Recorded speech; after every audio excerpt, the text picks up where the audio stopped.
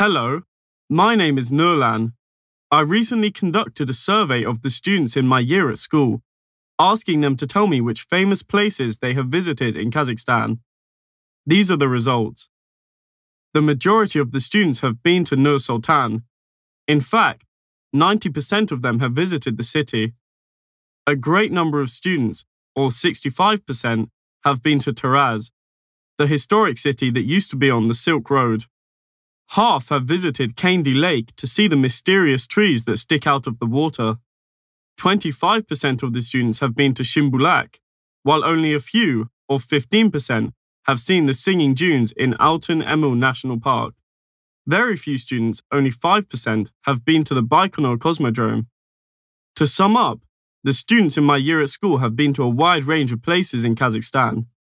The most popular place is Nur Sultan, probably because it is the capital city, while the least popular is the Baikonur Cosmodrome.